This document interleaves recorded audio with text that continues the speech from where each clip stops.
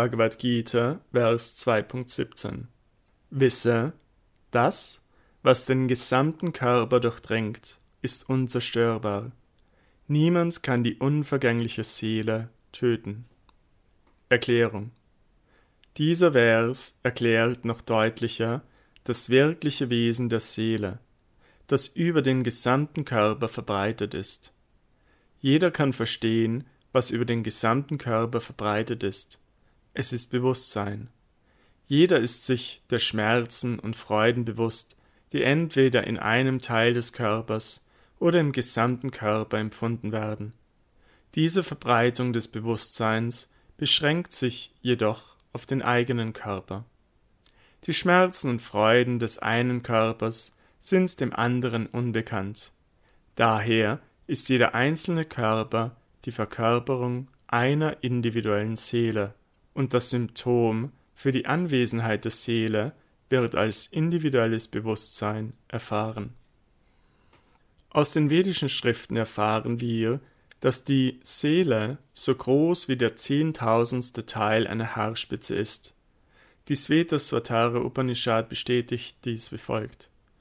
Balagra Shata Bhagasya Shatada Kalpitasya Cha Bhago Jivaha Sa Vigyeyaha Sa Janatyaya Kalpate. Wenn eine Haarspitze in hundert Teile und jedes dieser Teile in weitere hundert Teile zerlegt wird, dann entspricht eines dieser Teile der Größe der Seele. Svetasvatara Upanishad 5.9 im Bhagavatam wird diese Tatsache in ähnlicher Weise erklärt. Keshakra Shata Bhagasya Shatam Shaha Satri Shat Makaha Jivaha Sukshma Svarupoyam Sankhya Tito Hichit Kanaha Es gibt unzählige winzig kleine spirituelle Atome, und jedes von ihnen ist so groß wie der zehntausendste Teil einer Haarspitze. Daher ist die individuelle Seele ein spirituelles Atom, das kleiner ist als die materiellen Atome. Es gibt eine unbegrenzte Anzahl solcher Atome. Dieser winzige kleine spirituelle Funke ist das grundlegende Prinzip des materiellen Körpers und wie sich der Einfluss eines Medikaments im gesamten Körper zeigt, so ist der Einfluss eines solchen spirituellen Funkens über den ganzen Körper verbreitet. Diese Ausbreitung der Seele wird überall im Körper als Bewusstsein wahrgenommen. Und das ist der Beweis für die Gegenwart der Seele. Jeder Laie kann verstehen, dass ein Körper ohne Bewusstsein ein toter Körper ist und dass dieses Bewusstsein im Körper durch keine materiellen Bemühungen wiederbelebt werden kann. Bewusstsein hat daher seinen Ursprung nicht in einer Verbindung materieller Elemente, sondern geht von der Seele aus. In der Mundaka Upanishad wird das Ausmaß der winzigen Seele weiterhin erklärt. Die Seele ist winzig klein und kann nur durch vollkommene Intelligenz wahrgenommen werden.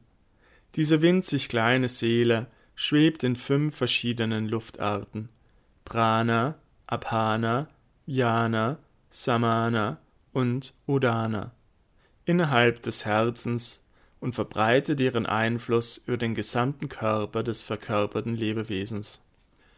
Wenn die Seele von der Verschmutzung durch die fünf verschiedenen Arten materieller Luft gereinigt ist, entfaltet sich ihr spiritueller Einfluss. Mundaka Upanishad 3.1.9 Das Hatha-Yoga-System ist dazu gedacht, die fünf Luftarten, die die reine Seele umkreisen, durch verschiedene Sitzstellungen zu kontrollieren. Das Ziel ist nicht materieller Gewinn, sondern die Befreiung der winzigen Seele aus der Verstrickung in der materiellen Atmosphäre. Die Beschaffenheit der winzigen Seele wird in allen vedischen Schriften beschrieben, und jeder geistig gesunde Mensch kann ihr Vorhandensein tatsächlich in seinem Leben erfahren. Nur ein Verrückter kann glauben, dass diese winzig kleine Seele das alldurchdringende Vishnu-Tattva ist. Der Einfluss der winzigen Seele kann vollständig über einen einzelnen Körper verbreitet werden. Nach der Aussage der Mundaka Upanishad befindet sich eine solche winzige Seele im Herzen jedes Lebewesens. Und da die Größe der unvorstellbar kleinen Seele jenseits der Reichweite der materiellen Wissenschaft liegt, behaupten einige verblendete Wissenschaftler, dass es keine Seele gebe. Es besteht kein Zweifel darüber, dass die individuelle winzige Seele zusammen mit der Überseele im Herzen weilt und dass daher alle Energien, die zur Bewegung des Körpers benötigt werden, aus diesem Teil des Körpers kommen. Die roten Blutkörperchen, die den Sauerstoff aus der Lunge entnehmen, erhalten ihre Energie von der Seele. Wenn die Seele den Körper verlässt, kommen die Aktivitäten des Blutes und die energieerzeugenden Verbrennungsvorgänge zum Stillstand. Die medizinische Wissenschaft akzeptiert zwar die Bedeutung der roten Blutkörperchen, aber sie kann nicht herausfinden, dass die Quelle der Energie die Seele ist. Auf der anderen Seite aber gibt die medizinische Wissenschaft zu, dass das Herz das Zentrum aller Energien des Körpers ist. Diese winzig kleinen Bestandteile des spirituellen Ganzen werden mit den Molekülen des Sonnenscheins verglichen. Im Sonnenschein gibt es unzählige strahlende Moleküle. In ähnlicher Weise sind auch die fragmentarischen Teile des Herrn winzige Funken in den Strahlen des Höchsten, die Brahma, höhere Energie, genannt werden.